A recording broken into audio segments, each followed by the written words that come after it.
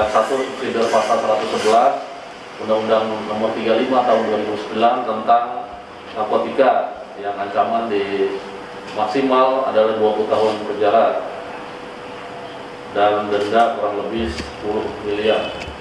Demikian rekan-rekan yang kami sampaikan.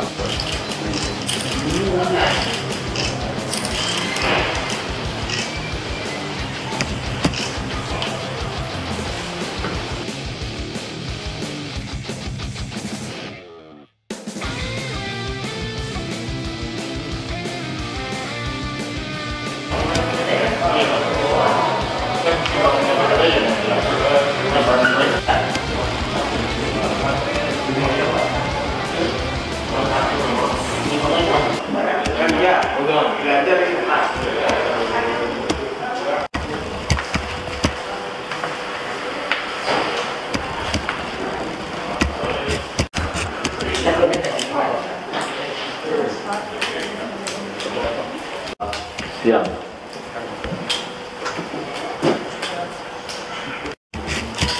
Yang saya hormati Pak Agung, eh, rekan-rekan lainnya. Hari ini kita Nah, terima kasih. Uh, di sinergi kami dengan Kapolres perlu diketahui bahwa di Barat Tempat sendiri adalah wilayah FTZ ya. Jadi di situlah kami berperan karena di FTZ di daerah pengawasan Bea Cukai. Meskipun pada saat itu sebetulnya libur, ya dari libur kami tidak libur. Perlu diingat bahwa kami tidak libur. Kami berkomitmen akan terus mengungkap apabila ada hal seperti ini ya dan kami tetap akan terus bersinergi dengan baik itu dengan kepolisian maupun dengan aparat penegak hukum yang lainnya. Saya rasa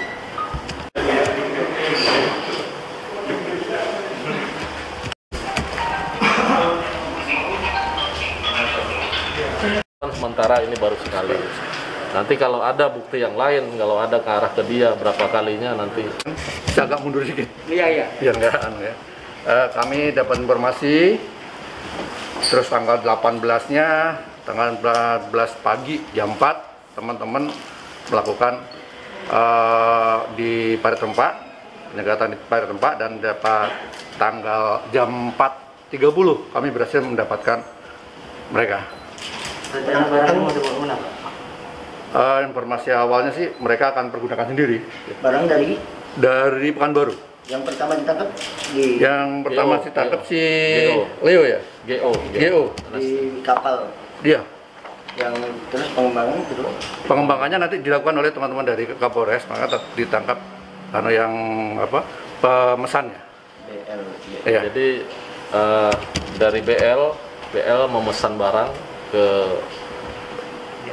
memesan barang ke daerah Kepulauan Riau. Ya, Kebetulan ter- yang GO ini tersangka GO ini pernah bekerja Dari di Pekanbaru.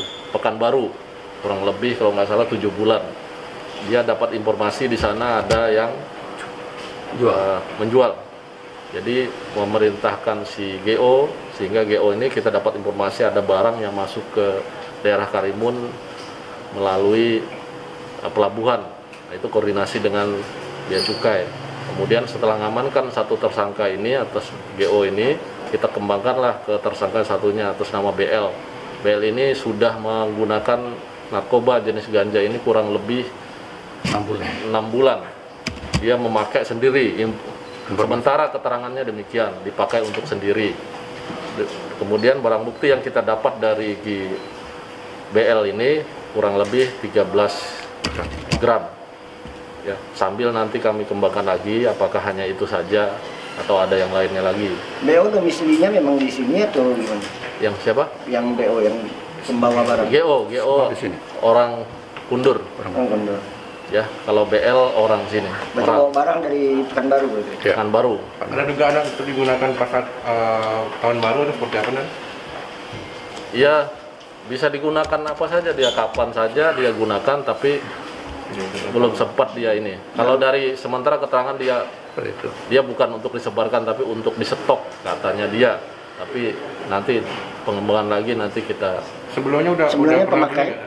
Iya, dia pemakai. Dua-dua. Si BL, Oh yang yang BL, GO, GO ini yang berangkat yang pernah hanya- bekerja di sana, sebagai kurir pengam. membeli- Kurirnya, ya, kurir. membeli barang di sana. Di sana beli barang dengan siapa? Masih di Ya, itu itu kita lah ininya ya. ke rumah. Ke rumah.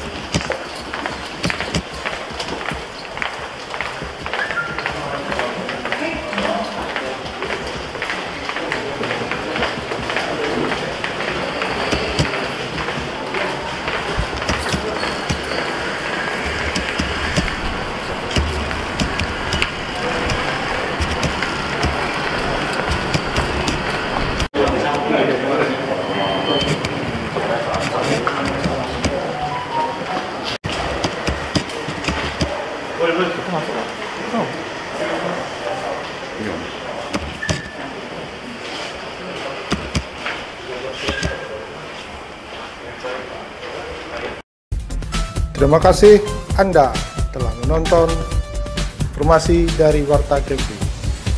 Jika Anda tertarik, silakan subscribe, like, comment, and share.